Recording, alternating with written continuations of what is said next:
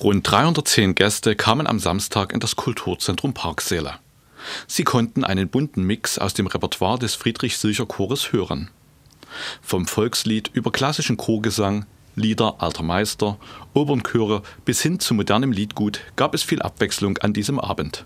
Heute sind noch sehr viele Gründungsmitglieder mit dabei. Also, Hand hoch, wer von euch ist Gründungsmitglied? Ja. Sogar im Publikum sitzen welche. Applaus dafür, wunderbar. Der heutige Abend soll ein Streifzug durch unsere 30-jährige Chorarbeit sein. Wir werden Ihnen alte Lieder und auch neue Lieder präsentieren. Verstärkung hatte sich der Chor durch die Schmiedeberger Musikanten geholt. Musik